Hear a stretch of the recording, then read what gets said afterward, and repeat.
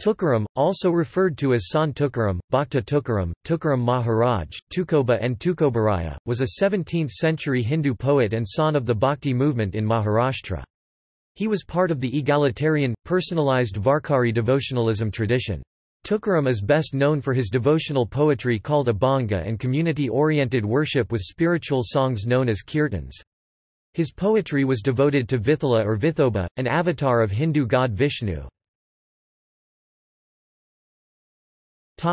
Biography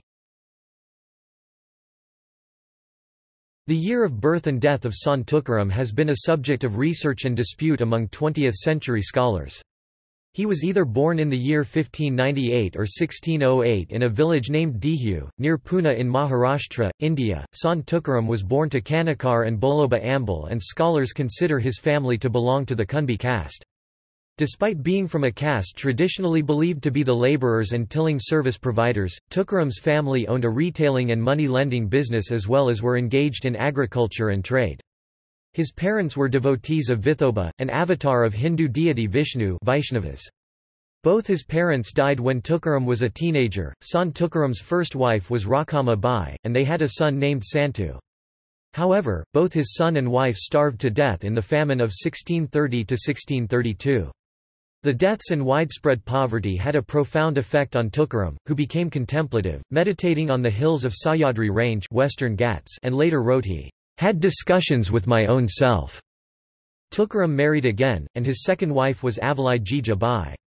He spent most of his later years in devotional worship, community kirtans group prayers with singing and composing Abhanga poetry. According to Rode Ranade, Tukaram's spiritual teacher was Babaji Chaitanya, who himself was fourth-generation disciple of the 13th-century scholar Jnanadeva. In his work of Abhangas, Tukarama repeatedly refers to four other persons who had a primary influence on his spiritual development, namely the earlier Bhakti Sants Namdev, Dnyaneshwar, Kabir and Eknath. According to some scholars, Tukaram met Shivaji, a leader who challenged the Mughal Empire and founded the Maratha kingdom. Tukaram introduced Shivaji to Ramdas for his spiritual education. Their continued interaction is the subject of legends. Eleanor Zelliot states that Bhakti movement poets including Tukaram were influential in Shivaji's rise to power. Tukaram died in 1649 or 1650. Important places associated with Tukaramji in Dehu that exist today are Tukaram Maharaj Janm Stan Temple, Dehu, place where Tukaramji was born, around which a temple was built later. Sant Tukaram Vaikunthstan Temple, Dehu, from where Tukaramji ascended to Vaikunth in his mortal form. There is a nice ghat behind this temple along the Indrayani river. Sant Tukaram Maharaj Gatha Mandir, Dehu, modern structure, massive building housing a big statue of Tukaram, in the Gatha temple, about 4,000 abhangs verses created by Tukaram Maharaj were carved on the walls. Literary works Sant Tukaram composed Abhanga poetry, a Marathi genre of literature which is metrical traditionally the Ovi meter, simple, direct, and it fuses folk stories with deeper spiritual themes. Tukaram's work is known for informal verses of rapturous abandon in folksy style, composed in vernacular language, in contrast to his predecessors such as Dnyandeva or Namdev known for combining similar depth of thought with a grace of style. In one of his poems, Tukaram self-effacingly described himself as a fool, confused, lost, liking solitude because I am wearied of the world, worshipping Vithal Vishnu just like my ancestors were doing but I lack their faith and devotion, and there is nothing holy about me." Tukaram Gatha is a Marathi language compilation of his works, likely composed between 1632 and 1650. Also called Abhanga Gatha, the Indian tradition believes it includes some 4,500 Abhangas, but modern scholars have questioned the authenticity of most of them. The poems considered authentic cover a wide range of human emotions and life experiences, some autobiographical, and places them in a spiritual context. He includes a discussion about the conflict between pravriti, having passion for life, family, business, and nivriti, the desire to renounce, leave everything behind for individual liberation, moksha. Ranade states there are four major collations of Tukaram's Abhanga Gathas. Authenticity Numerous inconsistent manuscripts of Tukaram Gatha are known, and scholars doubt that most of the poems attributed to Tukaram are authentic. Of all manuscripts so far discovered, four are most studied and labeled as, the Dehu MS, the Kadusa MS, the Talajan MS and the Pandharpur Ms.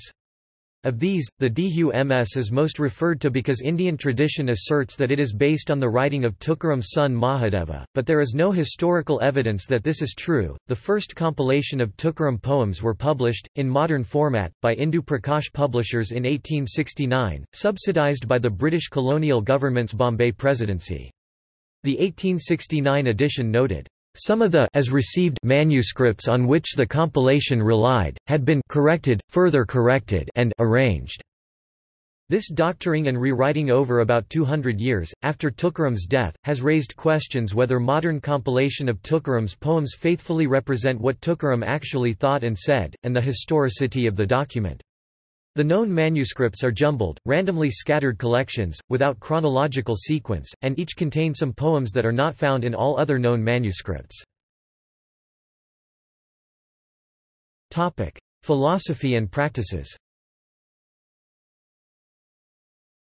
Early 20th-century scholars on Tukaram considered his teachings to be Vedanta-based but lacking a systematic theme. Edwards wrote, Tukaram is never systematic in his psychology, his theology, or his theodicy. He oscillates between a Dvaitist Vedanta and an Advaitist view of God and the world, leaning now to a pantheistic scheme of things, now to a distinctly providential, and he does not harmonize them. He says little about cosmogony, and according to him, God realizes himself in the devotion of his worshippers. Likewise, faith is essential to their realization of him, it is our faith that makes thee a god, he says boldly to his Vithoba. Late 20th-century scholarship of Tukaram, and translations of his Abhanga poem, affirm his pantheistic Vedantic view. Tukaram's Abhanga 2877, as translated by Ranade states, for example, "...the Vedanta has said that the whole universe is filled by God. All sciences have proclaimed that God has filled the whole world. The Puranas have unmistakably taught the universal immanence of God. The Sants have told us that the world is filled by God. Tuka indeed is playing in the world uncontaminated by it like the sun which stands absolutely transcendent. Scholars note the often discussed controversy, particularly among Marathi people, whether Tukaram subscribed to the monistic Vedanta philosophy of Adi Shankara. Bhandarkar notes that Abhanga 300, 1992 and 2482 attributed to Tukaram are in style and philosophy of Adi Shankara. However, scholars also note that other Abhangas attributed to Tukaram criticize monism, and favor dualistic Vedanta philosophy of the Indian philosophers Madhvacharya and Ramanuja.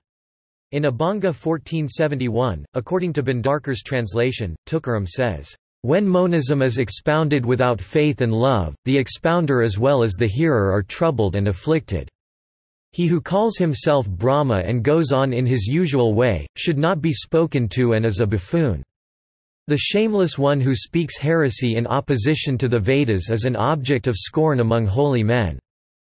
The controversy about Tukaram's true philosophical positions has been complicated by questions of authenticity of poems attributed to him, discovery of manuscripts with vastly different number of his Abhang poems, and that Tukaram did not write the poems himself, they were written down much later, by others from memory. Tukaram denounced mechanical rites, rituals, sacrifices, vows and instead encouraged direct form of bhakti devotion. Kirtan Tukaram encouraged kirtan as a music-imbued, community-oriented group singing and dancing form of bhakti. He considered kirtan not just a means to learn about bhakti, but bhakti itself. The greatest merit in kirtan, according to Tukaram, is it being not only a spiritual path for the devotee, it helps create a spiritual path for others. Social reforms Tukaram accepted disciples and devotees without discriminating gender. One of his celebrated devotees was Bahina Bai, a Brahmin woman, who faced anger and abuse of her husband when she chose Bhakti Marga and Tukaram as her guru. Tukaram taught, states Ranade, that, "...pride of caste never made any man holy. The Vedas and Shastras have said that for the service of God, castes do not matter." "'Castes do not matter, it is God's name that matters' and an outcast who loves the name of God is verily a Brahmin, in him have tranquility, forbearance, compassion and courage made their home." However, early 20th-century scholars questioned whether Tukaram himself observed caste when his daughters from his second wife married men of their own caste. Fraser and Edwards, in their 1921 review of Tukaram, stated that this is not necessarily so, because people in the West too generally prefer relatives to marry those of their own economic and social strata. David Lorenzen states that the acceptance, efforts, and reform role of Tukaram in the Varakari Sampraday follows the diverse caste and gender distributions found in bhakti movements across India. Tukaram, of Shudra Varna, was one of the nine non-Brahmins, of the 21 considered sant in Varakari Sampraday tradition. The rest include ten Brahmins and two whose caste origins are unknown.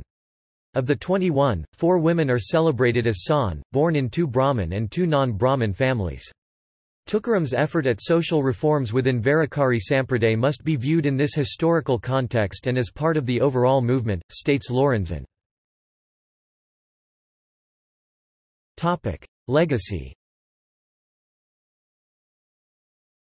Tukaram was a devotee of Vithala or Vithoba, an avatar of god Vishnu, synchronous with Krishna but with regional style and features. Tukaram's literary works, along with those of Sants Dnyandev, Namdev and Eknath, states Mohan Lal, are credited to have propelled Varkari tradition into pan-Indian bhakti literature. According to Richard Eaton, from early 14th century when Maharashtra region came under the rule of the Delhi Sultanate, down to the 17th century, the legacy of Tukaram and his poet predecessors gave voice to a deep-rooted collective identity among Marathi speakers.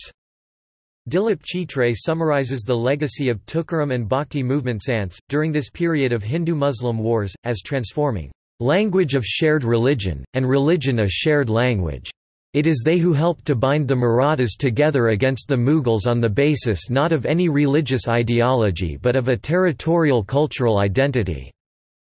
Mahatma Gandhi, in early 20th century, while under arrest in Yerwada Central Jail by the British colonial government for his nonviolent movement, read and translated Tukaram's poetry along with Upanishads, Bhagavad Gita and poems by other Bhakti movement poet Sants. Films and popular literature Sant Tukaram 1936 This movie on Tukaram was screened open-air for a year, to packed audiences in Mumbai, and numerous rural people would walk very long distances to see it. Santa Tukaram 1963, in Kannada. Sant Tukaram 1965, in Hindi.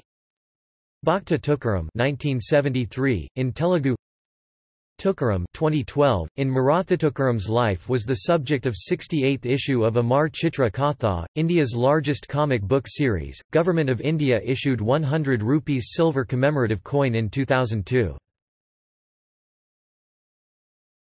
Topic: Books and translations of Sant Tukaram. The 18th-century biographer Mahipati, in his four-volume compilation of the lives of many bhakti movement sants, included Tukaram. Mahipati's treatise has been translated by Justin Abbott. A translation of about 3,700 poems from Tukaram Gatha in English was published, in three volumes, between 1909 and 1915, by Fraser and Marathe. In 1922, Fraser and Edwards published his biography and religious ideas incorporating some translations of Tukaram's poems, and included a comparison of Tukaram's philosophy and theology with those of Christianity. Delarue, in 1956, published a metric French translation of a selection of Tukaram's poem along with an introduction to the religious heritage of Tukaram Delarue spells him as Tukaram. Arun Kolatkar published, in 1966, six volumes of avant-garde translations of Tukaram poems. Ranade has published a critical biography and some selected translation. Dilip Chitre translated writings of Sant Tukaram into English in the book titled Says Tuka for which he was awarded the Sahitya Akademi Award in 1994. A selection of poems of Tukaram has been translated and published by Daniel Ladinsky. Chandrakant Kalyaram Matre has translated selected poems of Tukaram, published as 100 Poems of Tukaram. See also Bhakti movement Pandharpur Wari, the largest annual pilgrimage in Maharashtra that includes a ceremonial palki of Tukaram. Vithal Temple, Pandharpur References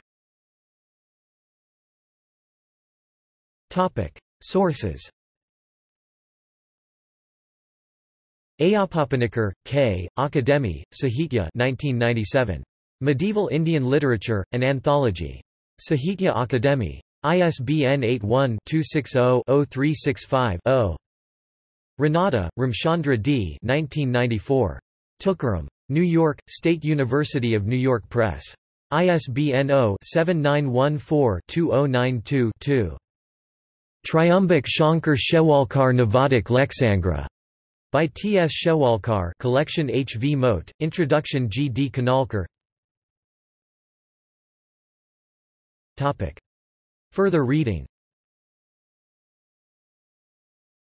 John Hoyland 1932, An Indian Peasant Mystic, Translations from Tukaram, London, Allinson, OCLC 504680225 Wilbur Deming 1932, Selections from Tukaram, Christian Literature Society, OCLC 1922126 Prabhakar Machwe 1977, Tukaram's Poems, United Writer, OCLC 4497514 Dilip Chitre 1970, The Bhakta as a Poet, Six Examples from Tukaram's Poetry, Delos, A Journal on and of Translation, Volume 4, pages 132–136 Fraser, James Nelson, Rev. J. F. Edwards 1922. The Life and Teaching of Tukaram. The Christian Literature Society for India, Madras. Fraser and Marathe 1915, The Poems of Tukaram, 3 vols, Christian Literature Society OCLC 504680214, reprinted in 1981 by Motilal Banarsidass, ISBN 978-8120808515 External links. Works by or about Tukaram at Internet Archive. Images, Biography, Tukaram Ram Bapat 2002, Tukaram Online, 14 Indian and 8 foreign languages. What I Want to Say, Tukaram, Mona Van Duyn 1965, Poetry, Volume 107, No. 2, pages 102–104 25 Poems, Tukaram Prabhakar Machwe 1968, Mahfil, Volume 5, No 1 half, pages 61–69 Translations from Tukaram and Other Saint Poets, Awad Kolatkar 1982, Journal of South Asian Literature, Volume 17, No. 1, pages 111–114